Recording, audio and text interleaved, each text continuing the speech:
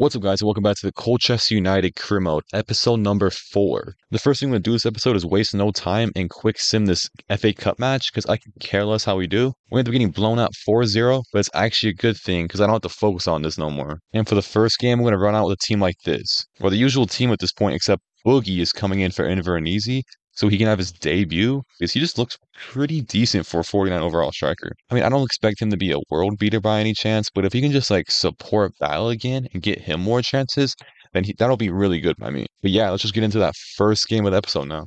All right, so here we are for the first match of the episode against Grimsby Town. Oh, Gallo. No, Gallo. Oh, and they score right away. That is abysmal defending from Gallo because he's not that slow. He should not be getting beat like that. Wow. And they cut it back to Rose, who slots it in beautifully. And we're down by two within 10. No, what? Okay, what is that? Great save, Lozano. But our defense is getting torn apart. Boogie. Oh, playing Balogun. Balogun. One on with the keeper. That's a big touch. Doesn't matter, though. Balogun slots it into the back of the net and we're only down by one now. I know you can't really defend, but that's inexcusable. That's saved, I guess. Good stuff, Lozano. That's beautiful. Just played him back into a corner. Boogie. Irokoze. Eh? Oh, just hit it harder. Played that. Boom. Balogun. Beautiful. And Balogun caps off the comeback with a second goal of the day for himself, and we are right back in this. Oh, the Souza. Oh no. I tried to clear it and he just stood still. We were doing so good to get back into this match, and we just blow it all because one player doesn't want to pass the ball. Like, what's my sentiment? Why are my defense backing up? And we took so long to get back to this match, and then in five minutes we sell it all again. Yeah, they're cooking right through us now. I mean, that was that was bad from Lozano, but does it really matter when we're down by two with zero seconds left? It just kind of is what is at that point, really. And we got slapped up once again because our team just doesn't know how to close out a game. All right, so here's another game I'm going to simulate. I'm going to do it with the main team this time because they're super unhappy and they actually pull out a win with Gallo and Balogun scoring. That's actually really impressive, and I didn't think they're going to do it. Hopefully, it makes them slightly less mad, which it does. And we're going to run with pretty much the same exact starting 11 from our last game, except Tanner's coming in at left striker, Van Yarsveld's coming in at left center back, and the Butcher is going to make his debut at goalkeeper. The team looks pretty good. I like it. It's just they suck sometimes, or most of the time. And we just can't keep letting that happen. So let's just get out there and hopefully get a win. Because if we don't get a win, I might get sacked in the morning. I don't want that to happen. And here we are for that match against Crewe Alexandria, who weren't the greatest team, but we've been slapped up by much worse oppositions. Eh, wow. In the Butcher's first game, such a light little strike from outside the box in the ninth minute just goes right past him. It's not looking good for him in the future right now. It's a great save by the Butcher. Oh my god. Nothing the Butcher can do there, but what is my player doing right here? Who is this? Oh, please don't be this so. Nope. It's Van Yarsveld. And that's my center back getting tackled like that. That's horrific. What is this? That's a great save from the Butcher, though. Irokoze just have a strike. It was a good one, just about to save them both. What is that? Good save from the Butcher, though. And they score that one really the butcher should have saved. But should I really even care at this point? We're going to get smacked up every game like this. Like once your players start becoming good, like 60 overalls and stuff, they play perfectly. I don't even understand how it works though. And we get just destroyed right there. And that was just a beautiful finish right through Butcher again. You really make Irokoze shoot. I mean, he scores, but that was not a good shot from Irokoze. Now we need three more of those in the next 18 minutes to get back into this match. Well, that's beautiful. Hey, 15 minutes to go, only down by two now. We're right back in this. Just need to put our heads down and get um keep working. Beautiful. Oh, what a save from their goalkeeper. That was like a certain goal, and the goalkeeper somehow got a hand to it. All right, so we ended up losing 4 to 2, which I'm actually not crazy mad about because we were down 4 0. I changed the tactics a little bit, went a little more attacking, and somehow we scored two and they weren't that um, aggressive anymore. I feel like our next game's a test. If next game we do bad with my change tactics, there's no hope for this team. But if we do good, you never know. So we got one more game to simulate against Harrogate before we get our scouting reports. Let's see how we do. We got better three to one, but it doesn't matter because the only games that matter are the ones that I play. And now we got monthly scouting reports to see how any good players we can get. And this could be a pretty decent striker right here. And this guy looks pretty bad for Spain. In Estonia, we got this dude who looks great, but he's 15. Him as well, but he's 15.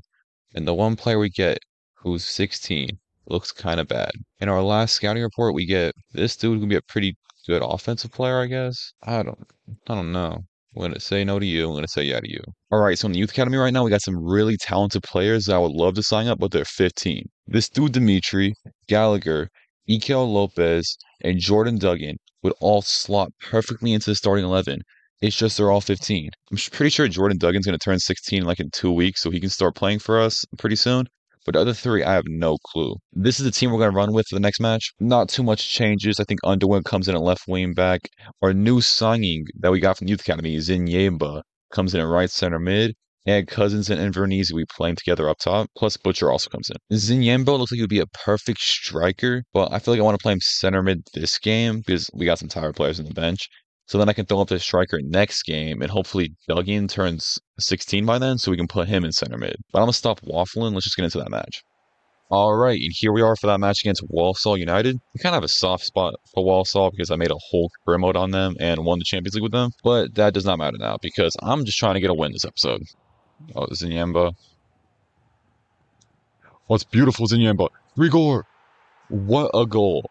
And within 15 minutes, we go ahead and take that lead from pretty sure the first time this episode. Lovemore Zinyemba kind of just got the ball to bounce back to him, luckily, and that ball is beautiful. It doesn't even look like he's looking in that direction, but somehow finds the pass. And all Grigor has to do is slot it in the back of the net. And we've been dominant early on. We just need to keep this going. So, I don't really know how he got through there, but he did, and they equalize right around the half hour mark. Great. And Vernizzi, that's beautiful Invernizzi. Oh, is he going to show him the inside? Yes, he does. Invernizzi, two to one. Just as quickly as we lost the lead, we regain it. And Invernizzi went on a crazy run, just out muscling his defender. And then that's not an easy finish either, but he puts it in, and that was beautiful by him. Underwood, where are you going? And of course, I own the track back.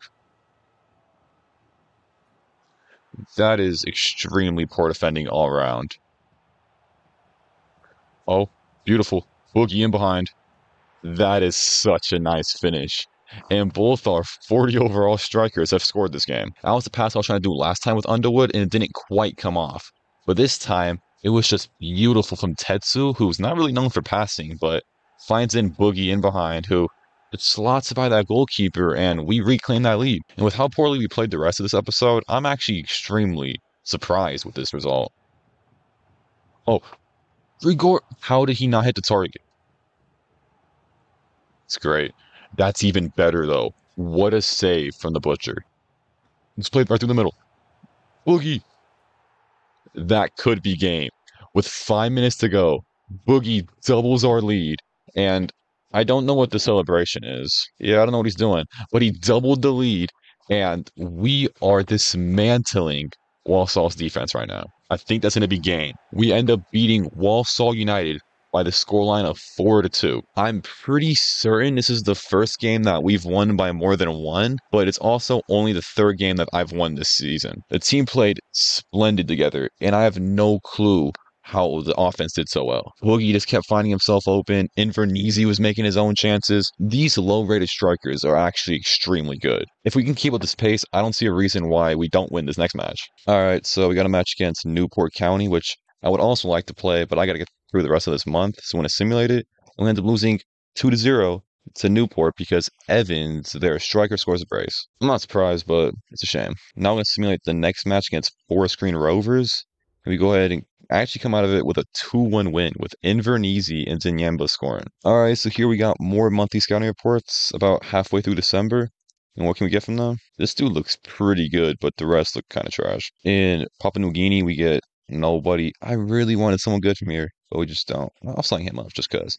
We really don't get anyone good. And in the last country, Chile, we get also nobody. These guys both look kind of bad. I'll sign him up, but they both look kind of bad. So here we got a match against Doncaster Rovers, and we're going to go ahead and throw out the main team because we're trying to pick up some big points against them, which we do not because we ended up losing two to one. Well, we were close in it. That's all that matters. though. I mean, a win would have mattered more, but you know. All right, now we got to simulate a game against top of the table Wrexham, and hopefully we don't get blown out. We only lose two to one to an 86th minute winner. See, that one result I'm happy about because we kept it close against the top of the table team. For the last game of the episode, I'm going to run with probably our best starting 11 with two new faces in it. Bilgan finally became 16, and with 71 passing, he slots right into the center midfield, which pushes Lovemore Zinyemba up to striker. The player I got from Bosnia, his name got changed to Ibrahimovic, and he looks outstanding with that dribbling. I just don't think Ibrahimovic can take either of our strikers' spots or the midfielders, so I'm going to relegate him to right back like Underwood.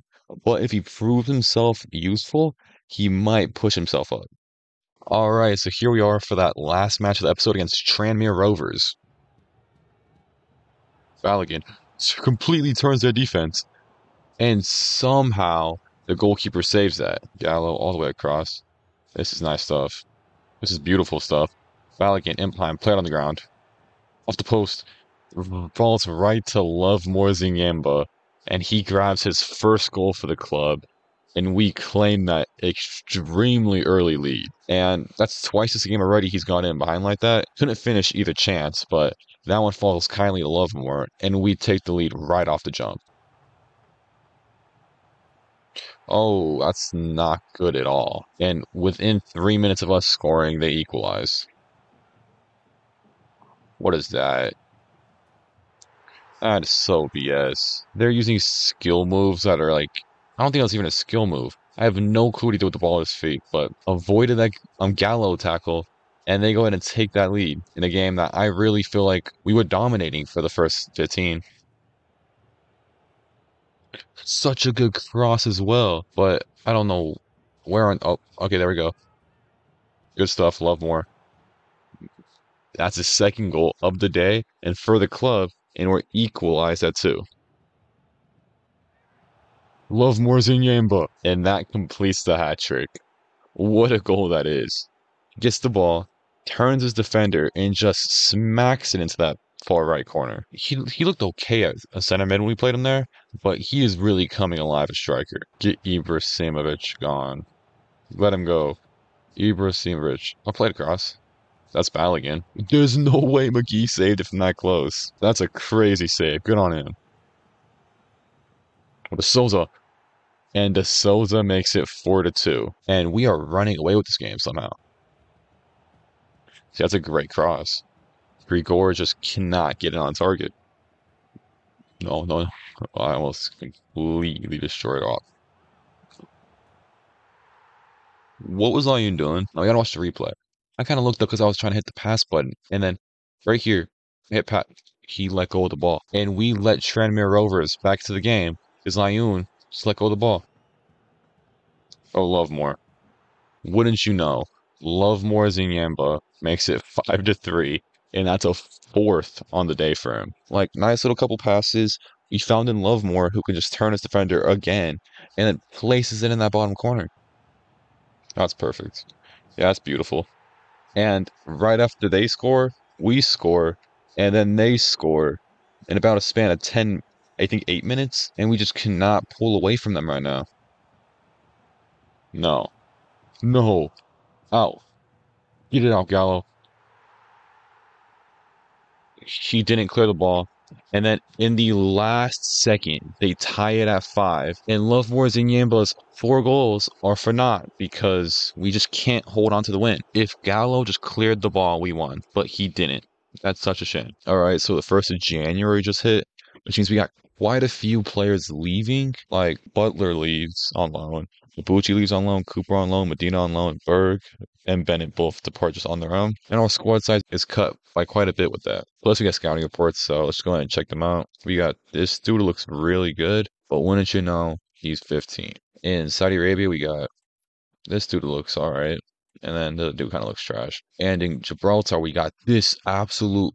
There's no way. We finally got a cracked player, and he's from Gibraltar. That's sick. So that one Gibraltar player I signed up is now named Adrian Mascarenas, and he is insane with these stats. He might be the best player on our team by far. Like, look at these play styles. He's going to be perfect in the midfield. I might as well mention I gave Duggan three play styles that fit him perfectly, Gallo two play styles, Tetsu three play styles, and Underwood one. I feel like these players already kind of do these things, but I feel like having the play style just proves it further. And yeah, I think that's going to do it for the episode. Thank you guys for watching. Please like and subscribe. I'm going to catch you guys later. Peace.